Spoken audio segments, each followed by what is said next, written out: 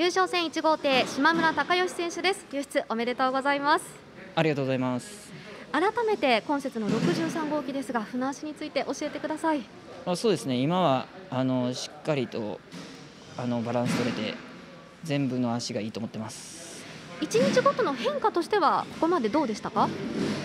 そうです。あのプロペラのまあ、微調整の方法がいまいち分かんなかったんですけどさ今日とかしっかり合ってたんでなんとなく分かってきたような気がします。明日優勝戦に向けてさらに求めたいところというのはありますか？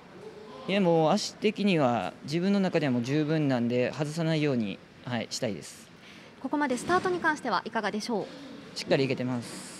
1号艇となります。今節ピット離れはいかがですか？ピット離れもあのー、今日は良かったですね。はいそして2号艇以下 SG タイトルホルダーを引き連れての優勝戦となりましたが気合も入りますね。そうですね。もうみんな強いんで、はい、気合入れてきます。ただ今年は4場所連続優勝も含めてこれで10回目の優出2度目の G1 制覇がかかる戦いとなります。リズムも抜群ですね。いやもう抜群すぎて、はい、怖いですね。最後にファンの皆様に向けてメッセージお願いします。はいあのー、明日池田さんがどういう動きしてくるか分かんないですけどしっかりインだけ死守していいスタート決めて逃げたいと思います。